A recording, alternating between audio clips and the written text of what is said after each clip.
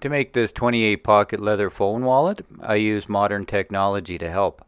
A lot of the techniques I use come from a studio woodworking environment and I like to apply these skills to my leatherworking projects.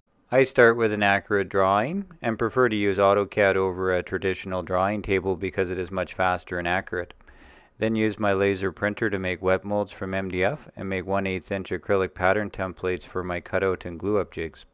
I prefer to use high quality vegetable tan saddle leather because it is very versatile.